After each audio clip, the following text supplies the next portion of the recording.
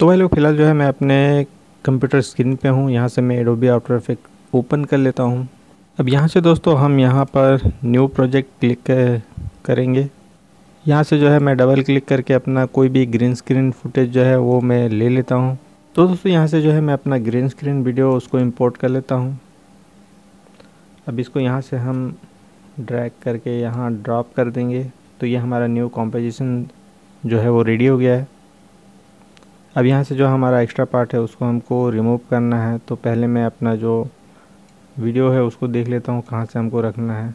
अब दोस्तों, यहाँ से कंट्रोल शिफ्ट डी जो है प्रेस करेंगे और ट्रिम कर लेंगे।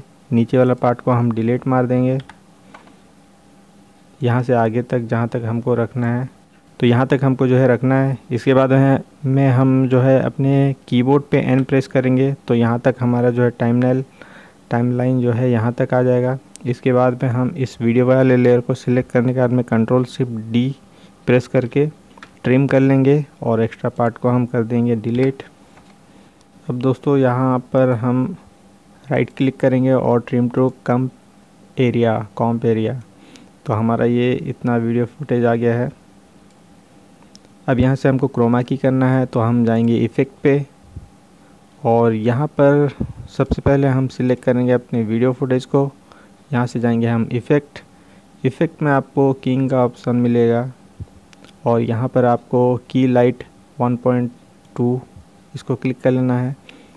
यहाँ से जो है आपको इस वाले पेन के ऑप्शन जो नज़र आ रहा है, इसको अपने माउस पे क्लिक करना है और अब जिस भी कलर को रिमूव करना चाहते हैं, वहाँ लेके अपने माउस पे क्लिक कर देना है। इसके बाद में दोस्तों ग्रीन गेन गेन का ऑप्शन है। तो इसको आप जो है इंक्रीज़ कर सकते हैं अपने हिसाब से। और नीचे वाला है स्क्रीन बैलेंस इसको आप माइनस कीजिए। तो फ़िलहाल जो है हमारा कॉम्पोजिशन है, यहाँ कॉम्पोजिशन सेटिंग में जाएँगे तो बैकग्राउंड जो है हमने ग्रीन सिलेक्ट रखा है, इसलिए इस तरह से आ रहा है। आप यहाँ से कोई भी कलर जो है आप सिलेक्ट कर सकते हैं। या फिर आप बैकग्राउंड में कोई भी इमेज वगैरह जो है वो दे सकते हैं। तो ये आपको सिर्फ़ दिखाने के लिए है। चलिए मैं कोई सा बैकग्राउंड जो है वो इंपोर्ट कर लेता हूँ।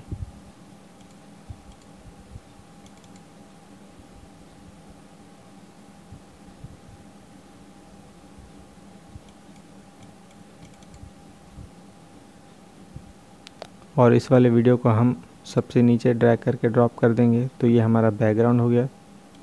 अब यहाँ से हमें सही जो है क्रोमा की करना है तो ऊपर वाले लेयर को लेंगे यहाँ से सिलेक्ट करने के बाद में यहाँ से इफ़ेक्ट में जाएँगे।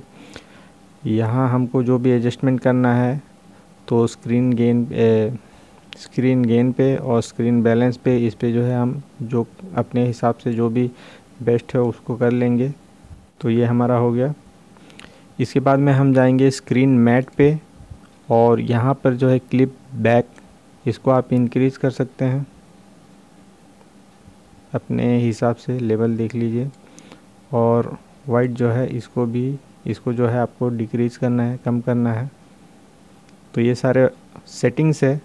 आप अपने मुताबिक जो है बेस्ट अपना, जो भी आपको बेस्ट लगे, जितना आप इसमें जो भी सेटिंग करना चाहते हैं, इसमें से आप देख लिए, उस हिसाब से कीजिए।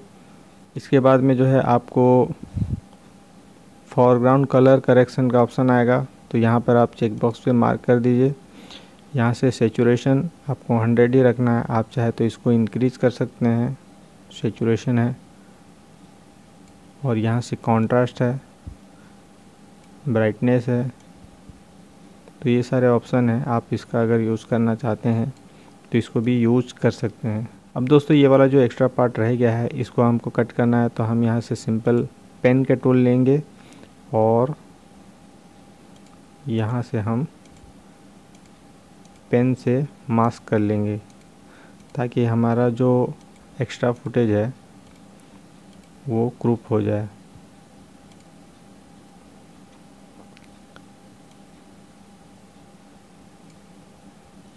यहाँ से आप इसको एडजस्ट कर सकते हैं।